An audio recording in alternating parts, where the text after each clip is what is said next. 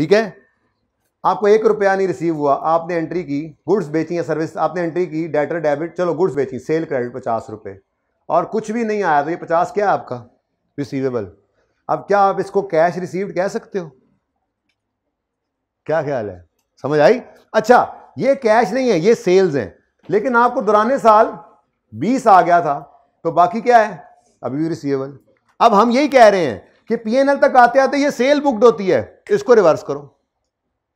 ऐसे ही ऐसे ही इनकम सिर्फ़ इन्वेस्टमेंट इनकम सिंगल बनाते हैं। आपने आपने शेयर्स खरीदे, उन पे डिविडेंड आया। डिविडेंड इनकम अभी अभी आपने कमा लिया है, आया नहीं है, दस रुपए। तो सारे का सारा क्लोजिंग में क्या है? रिसीवेबल तो क्या है? इनकम है नॉन कैश है। कैश फ्लो में इस दस को लेना चाहिए। नहीं किसको उल्टा देते हैं। आप कहते हैं, नहीं नहीं, कुछ आ भी गया है। कितना आ गया जी? सात रुपए आ गए। तीन अभी नहीं आए। तीन आएबल हैं। सात आ गए, तीन आएबल हैं। तो आप कहोगे जी, दस की इनकम उल्टा दो, सात का कैश लो। यही तो कर रहे हैं। यही कर रहे हैं। ठीक है?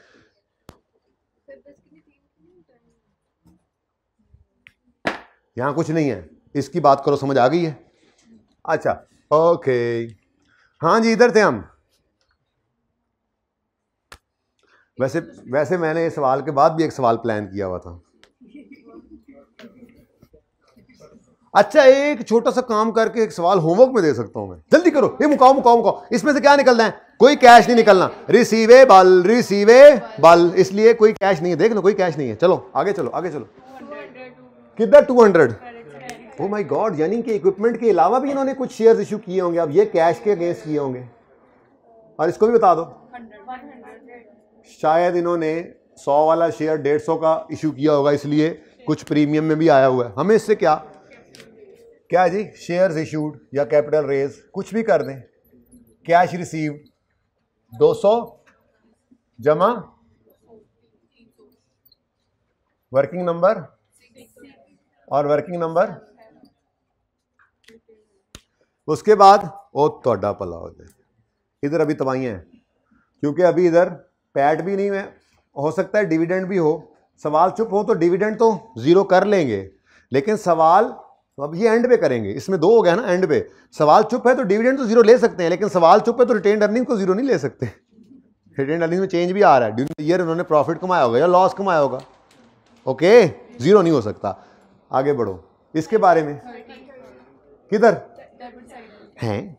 ये डेबिट ये कब डेबिट होता है? जब एसेट बिके रीवैल्यूड अब एसिड बिके रीवैल्यूड तब भी एंट्री होती है रीवन surplus debit retain earnings credit और अगर इंक्रीमेंटल डेबिशन की एंट्री है तो वो भी यही होती है रीवन surplus debit retain earnings credit तो फ़र्क नहीं पड़ता, ठीक है?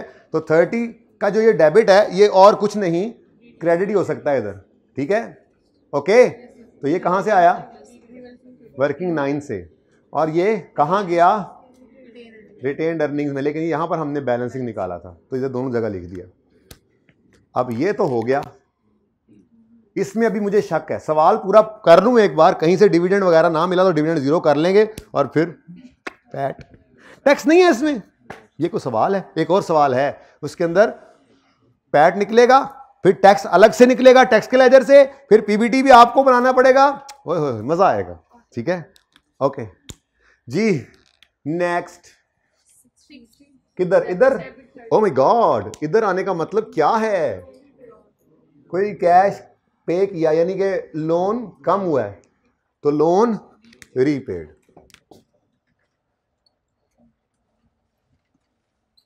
वर्किंग नंबर अब ये मुफ़्त के नंबर आसान भी होते ही हैं। जी कितना? रीपेड है कैश आउटफ्लो होगा। ठीक है? ये भी हो गया ये भी हो गया ये भी हो गया। ये हो गया हुआ है? ले गए थे इसको? इसको भी बैलेंस करो। फिफ्टी कैश लेकिन ये क्या है? नहीं नहीं, क्या है ये?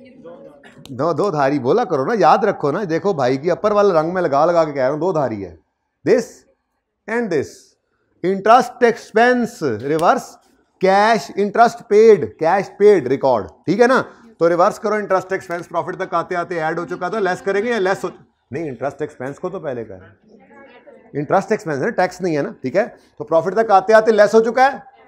ऐड कर दो। और खीर ही हुई पड़ी है तो आज नंबरों की मुफ़्त के नंबरों की। कोई एक दो चीज़ें ना निकली हो इंटरेस्ट एक्सपेंस तो निकलने वाली चीज़ थी आसानी से। गेन लॉस निकल आने वाली चीज़ थी तो एक दो चीज़ें नहीं निकली होंगी सवाल में। बाकी आपको जो समझ नहीं भी आई थी तो काफ़ी सारी फिगर उसमें फिर भी सही है। बस ये असल बात। इसकी प्रैक्टिस करनी है। इंटरेस्ट एक्सपेंस सवाल में गिवन था। फोर्टी ऐड हो गया। और इंटरेस्ट पेड आप निकाला। वर्किंग नंबर कितना? फिफ्टी डिस्पोजल का काउंट हो गया जी? पूरा कर दिया था इसको। ये एडजस्टमेंट और इसके अलावा वर्किंग थर्टीन के बाद वो फोर्टीन नीचे ही हो गई थी। चलो, और फिफ्टीन ये पड़ी है। इसमें भी जो एंट्री थी वो कर दिया आपने। वो तो अगला मैंने सिर्फ़ समझाने के लिए किया था। ये थोड़ी करना है आपने। अब सारा सवाल हो गया है। सारा सवाल हो गया है। कहीं को ज़िक्र डिविडेंड का? तो खुद से नहीं अज्यूम कर लेना, क्योंकि देखो ना, इस लेजर को आप बैलेंस करो तो किस तरफ़ बैलेंस आ रहा है? क्रेडिट साइड पर तो वो क्या होगा फिर?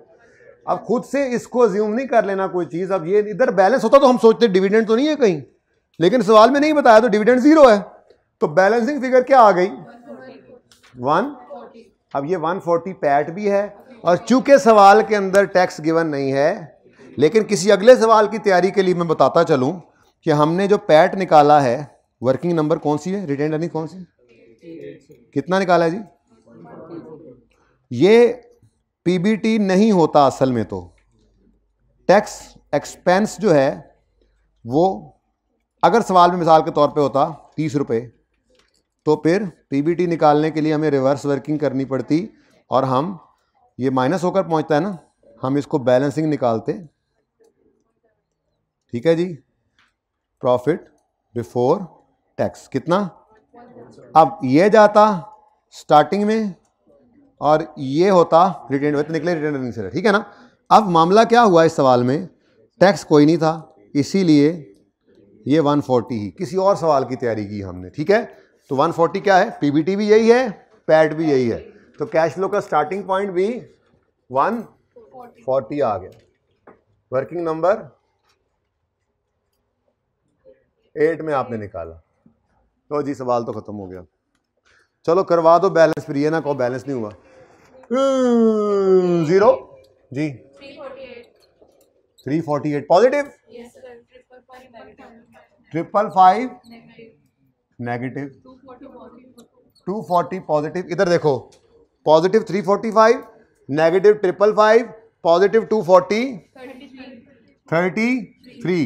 Plus करें ट्वेंटी। आंसर इज़ चलो, अब ये हाथ इधर ही रहने देना और घर आ जाना पर्चे के अंदर, मैं आप देख लिया।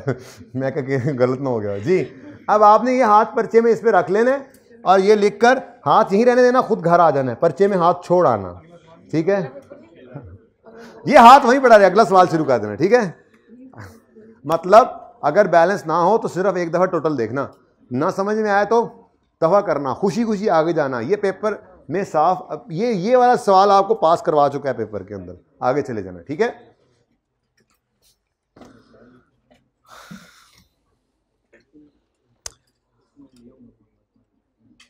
यार, इस सवाल को देखें फिर ज़रा मैं, क्या मसला है इसमें? देखें ज़रा मैंने वैसे ये प्लान नहीं किया हुआ था, मैंने तो कुछ और ही करना था, ज़रा मैं इसको देख लेता हूँ, इसमें है क्या? मिल के पढ़ते हैं, ठीक है? अगर आपके करने वाला हुआ, कर लेना, ना हुआ तो ना करना। इतनी गाली है ना, ठीक है? कल फिर मैं कराऊँगा इसी मेथड से एक और कैश लो का सवाल। लेकिन डाटा एक और तरीके से दिया हो सकता है, वो तरतीब सिखानी है। ठीक है? तो उसके बाद फिर ये मेथड ख़त्म मेरी तरफ़ से। फिर सवाल हम करते रहेंगे जब तक क्लासें चलती रहेंगी, कभी टेस्ट में देंगे, कभी कुछ करके। लेकिन इसके अंदर फिर अब अब काफ़ी हद तक कंफर्टेबल हुए हैं इसके अंदर। ये सबसे मुश्किल सवाल मेरे पास तो यही है। जी, तस्वीर खींचनी है। सॉरी बाद में बाद में बाद में। ठीक है? इधर ही आ जाना, इधर से कहीं लेना, कोई मसला नहीं। अच्छा बच्चों रिक्वायरमेंट है, अगले सवाल की जो होमवर्क है आपका, हो सकता है, हो जाए, हो सकता है ना भी हो, देखने लगाऊँ मैं, ठीक है? इनशाला होगा, अल्लाह ने चाहा तो। अब देखो ये, मुझे तो कॉन्फिडेंस है कि सिक्सटी सेवेंटी परसेंट हो जाएगा, ठीक है? दो मिनट में पढ़ूँगा मैं। अच्छा बीस से पहले नहीं उठना? और क्लास आज इंशाल्लाह शुरू करेंगे हम, दो बीस पे, भाई ने कहा था कि नहीं, दो बीस से पहले ना आया करें, ठीक है? दो बीस से तीन पचपन। क्या? तो रोज ही होती, कल भी हुई थी। ऐसे ना करो। यार, बेटा, और सब्जेक्ट तो होते हैं तो मैंने घर पे पढ़ने वाला काम अब ये इतफाक़ से एक सवाल चला जाएगा। और वैसे भी कंफर्टेबल हो गया है। आजकल आपने बाकी सब काम छोड़े होने चाहिए, आपको सिर्फ़ पढ़ाई करनी चाहिए। सिर्फ़ सात घंटे सोएँ और एक घंटा नमाज़ का, आठ कर ले। सात कहो, मैं तो छः सोता था, ठीक है? उसके अलावा आप पढ़ाई करें, हर पेपर को, हर हर सब्जेक्ट को आप दो दो घंटे एक्स्ट्रा दें। कोई नहीं सब, क्योंकि इस वक्त नहीं छोड़ना, चीज़ें पूरी कर रहे हैं ना, इसको बिल्कुल नहीं छोड़ना, जैसे कहा आखिरी महीने की, थोड़ी एफर्ट खैर है। कल ऑफ़ करूँगा। आपका फिर हफ़्ते को जुमे को बुलाऊँगा। नहीं नहीं नहीं एक्स्ट्रा क्लास ऑफ़ करूँगा। नॉर्मल क्लास नहीं ऑफ़ होती, अल्लाह खैर करे, जो, ज़िंदा सलामत रहूँ, सेहत से रहूँ, खैर ऑफियत रहे तो। Following are the extracts of financial statements of S L for the year तीस जून इक्कीस। रिक्वायरमेंट है S L statement of cash flow बनाओ फॉर द ईयर तीस जून इक्कीस। अब बैलेंस शीट गिवन है। ऑपरेटिंग फिक्स एसेट वो E PP less depression अलग दे दिया तो आप अलग कर लेना, मेरा मशवरा है। कैपिटल वर्क इन प्रोग्रेस है। वाह। इसका लेजर बना लेना। बस यही है ना। इसका ओपनिंग आ रहा है, कोई ना। क्लोजिंग आ रहा है यस तो इसके मतलब इसमें से भी क्या होगा? एडिशन। हो सकता है यहाँ पे आगे जाके कह दे कि जी, कुछ सी डब्ल्यू आई पी में से कैपिटलाइज हुआ है तो उसकी एंट्री कर देना P P E debit C W I P credit पढ़ा हुआ है, सिर्फ़ अप्लाई करना है। आप देखो ना, ऐसी कोई चीज़ मैं इसलिए आपको दे रहा हूँ सवाल तो मैं करवाऊँगा। अगर इसमें कोई मसला होगा या नहीं भी होगा अच्छा सवाल है, करने वाला है, मैं तो करवा दूँगा। लेकिन मैं ये चाहता हूँ कि एक स्टेप आगे चल रहे हो आप। मतलब आगे एक चीज़ डिस्कस नहीं हुई है तो खुद से सोचकर कैसे ट्रीट करना है, कर जाए, ये थोड़ा कॉन्फिडेंस देगा आपको। इन्वेंट्रीज हैं, ट्रेड रिसीवर्स हैं, इंश्योरेंस क्लेम है वो हो इंश्योरेंस क्लेम बैलेंस शीट में आ रहा है मतलब इंश्योरेंस क्लेम रिसीवेबल है। पिछले साल था, इस साल नहीं है मतलब ये कैश इस साल आ गया होगा। एडवांस टू सप्लायर है, ये क्या मुसीबत है? ये है हाँ right to receive right to receive goods in future okay तो अगर आपने इस साल के अंदर कोई दिया होगा एडवांस तो पैसे बढ़ जाएँगे। ये cash and bank balances different चीज़ें आई थोड़ी सी। Share capital oh my god share discount है, लेकिन उसने ज़बरदस्ती इसी इक्विटी साइड के ऊपर शो किया और शो करके इसको नेगेटिव साइन कर दिया।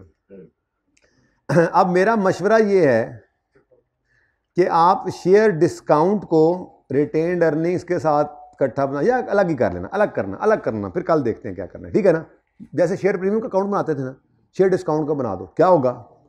इतनी अजीब अजीब बातें सर इसमें आ गई हैं। हालाँकि मैंने ये कभी ऐसे होमवर्क में नहीं दिया चौथे दिन। दे रहा हूँ आज। अल्लाह मालिक है आप, अल्लाह के हवाले, कहते नहीं घर वाले भेजते हम अब अल्लाह दे वाले, अल्लाह दे वाले कर रहा हूँ। हो जाएगा इंशाल्लाह। मुझे ये कॉन्फिडेंस है कि इस सवाल में भी आप 60 70 परसेंट कुछ 60 परसेंट तो कर ही जाएँगे इंशाल्लाह। तो शेयर डिस्काउंट है ब्रॉडडाउन इधर लिख लेना बस, इतनी सी बात है। और brought down sorry sorry sorry sorry brought down कोई नहीं है। शेयर डिस्काउंट में कैरी डाउन आ रहा है। इधर लिख देना। अब फिर एंट्री शेंट्री होगी बैलेंस होगा, खुद ही कुछ ना कुछ कुछ ना कुछ जुगाड़ लग जाएगा। अल्लाह का नाम लेके करते हो जाना। रिटेन अर्निंग नॉर्मल है। Long term loan trade payable accrued expenses और ये दोनों इकट्ठे कर देना। देखो। ओके लेजर बनाते हुए। सेल्स हैं कॉस्ट सेल है जीपी है ऑपरेटिंग एक्सपेंस है गेन ऑन डिस्पोजल है लॉस बिफोर इंटरेस्ट है जालिम ने प्रॉफिट नहीं दिया, सारा कुछ दे दिया। ऐसे फिर वही मसला है। चलो देखते हैं। L declared a final dividend of दस percent which was paid in December final cash dividend है. Twenty million shares were issued कितने के बताया नहीं है? कोई नहीं, अल्लाह मालिक है. इंश्योरेंस क्लेम के बारे में कोई कहानी बता रहा है कि ये पिछले साल से रिलेट करता है, कोई मशीनरी डिस्ट्रॉय हुई थी, जिसके अगेंस्ट ये ये कहानी थी. पता नहीं अब इसका क्या करना होगा अपने घर पे. कुछ तो करेंगे आइए सोलह तो पढ़ा ही हुआ है. During the year asset dispose इस साल में उन्होंने एक एसेट बेचा है। कॉस्ट उसकी है पचहत्तर बुक वैल्यू है उसकी पैंतीस, यानी आप अकोमोडेशन निकाल सकते हैं इसमें, और दोनों अलग अलग हैं तो अलग अलग ही ले लीजिएगा। करंट पोर्शन होए होए होए होए होए। ये गड़बड़ है, गड़बड़ेशन है। Current portion of long term loan के अंदर इंटरेस्ट पेबल छुपा हुआ है। उसको अलग करेंगे, उसको साथ नहीं छोड़ना, उसका हम अलग से लेजर बनाते हैं, ठीक है ना? यानी इस करंट पोर्शन को आपने दो हिस्से कर लेना। जो हिस्सा इंटरेस्ट वाला है, उसको लेजर में ले जाएँगे और जो बाकी है, उसको आपने ऊपर ऐड कर देना। ऐसे है, बस आ जाता है, कुछ trade payable include an amount payable against C W I P अजीब सी बात है, पता नहीं अब क्या होगा। सर, ये तो ज़्यादा है ना, अब पढ़ाया नहीं आपने और पेपर में आ गए ये नहीं कहना पर्चे में जाके, बल्कि बेस बनाई हुई थी ना, उसके ऊपर ये सवाल आन पड़ा है आपके। वैसे तो करवाने हैं, सवाल अभी तो और भी हैं, लेकिन लेट से आखिरी क्लास थी, खत्म हो गया, कल आप छुट्टियों में चले गए और पेपर में ये सवाल आ गया। तो कुछ तो करना है ना, कि छोड़ के आ जाना है, बस मुझे बुरा भला कह के। कुछ ना कुछ करना है, ठीक है? तो ज़िंदगी रही तो इन कल होगी मुलाकात नॉर्मल क्लास में। अभी जो है वो एक्स्ट्रा क्लास में इनशाला मिलते हैं, सवा दो बजे। अल्लाह हाफिज़।